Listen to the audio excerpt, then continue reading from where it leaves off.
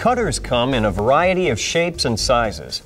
We recommend you have a few different style cutters in your toolbox in order to handle various situations out in the field. It's also a good idea to have spare parts for all your cutting tools nearby. Service kits are available and have all the necessary parts to keep your workflow from coming to a halt. Let's take a closer look at the most popular styles of cutting tools.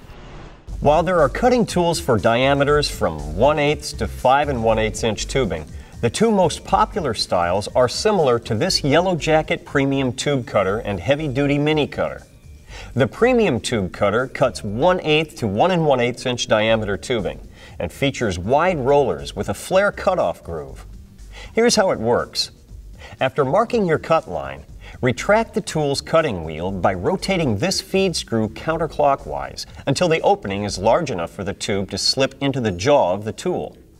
Line up the cutting wheel with your mark and gently rotate the feed screw clockwise until the tool's jaw closes, just enough to slightly grip the tube between the rollers and the cutting wheel.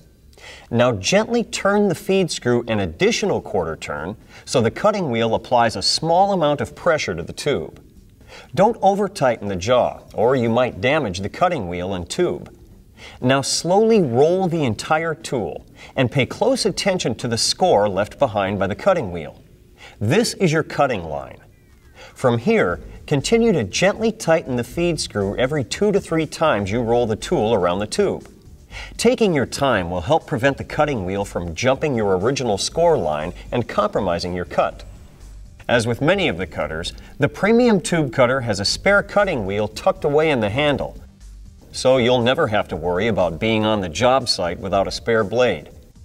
It also comes with a deburring blade, and it can be modified with a blunt wheel to double as a constrictor tool for rolling down or capping off the diameter of your tubing.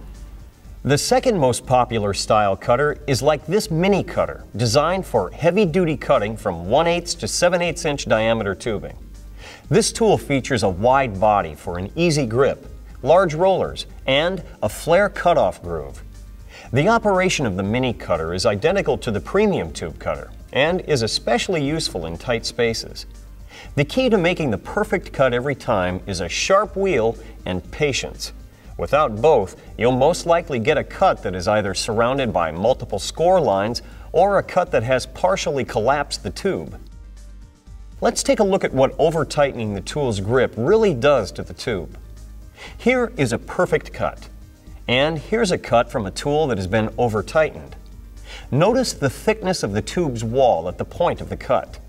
This cut has rounded off the end of the tube, and the wall thickness of the tube itself has been compromised and may crack when you flare or swage that end. In contrast, the tube with the perfect cut has its entire wall thickness intact at the cut end. Along with the conventional cutters we've just looked at, there are specialty cutters, such as this innovative tight spot flare cutoff tool from Yellow Jacket. As the name implies, it allows you to get into very tight quarters to remove the flare on smaller size tubing. When you're dealing with an existing application where all you can afford to remove is the flare, this tool is just what you need.